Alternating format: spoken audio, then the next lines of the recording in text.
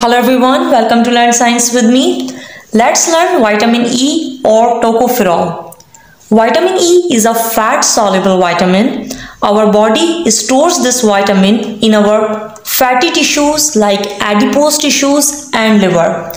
The naturally occurring form of vitamin E includes 8 fat soluble isoforms, the 4 tocopherols and the 4 tocotrienols. The tocopherol is available in alpha, beta, gamma and sigma form while the tocotrienol also available in alpha, beta, gamma and sigma form. So these are the 8 fat soluble isoforms of vitamin E which is also known as tocopherol. The human body only utilize alpha tocopherol. Now the functions of vitamin E are the vitamin E acts as a chain breaking antioxidant. It prevents the propagation of free radicals. Now what are the free radicals? The free radicals are actually the harmful compounds. If their level become too high in our body, they cause illness. These are unstable atoms that can damage our cells. So vitamin E acts as a potent antioxidant for these free radicals. The second function of vitamin E is anti-aging vitamin. The vitamin E acts as an anti-aging vitamin has been used in dermatology since 1950s. It protects the skin against aging.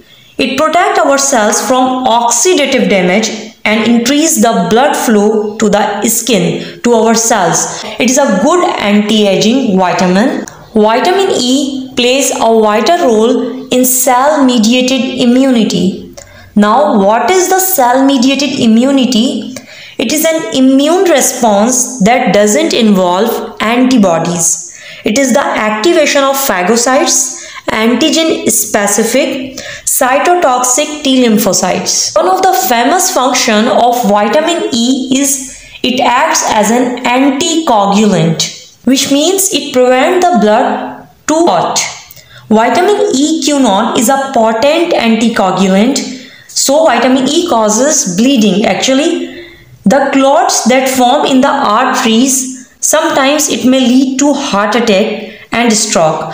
So vitamin E prevent deep vein clot. And last, vitamin E helps the body to use vitamin K. The vitamin K is one of the most important vitamin. What is the function of vitamin K in our body? Vitamin K makes various proteins which are essential for our body. One of the most important protein for blood is prothrombin which is formed by the vitamin K. The daily requirement of vitamin E or tocopherol in our body is 15 mg per day. We can get the vitamin E from plant seeds like sunflower, almonds, hazelnuts.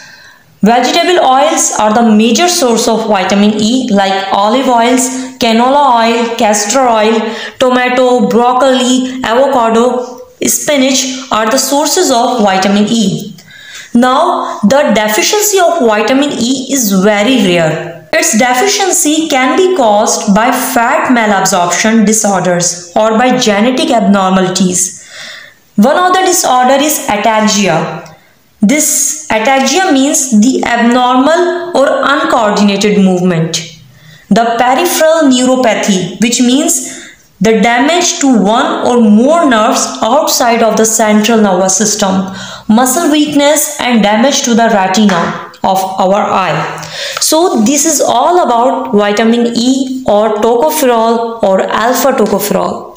I hope you understand this lecture. Don't forget to subscribe my channel, like this video, share it with your friends. Thank you.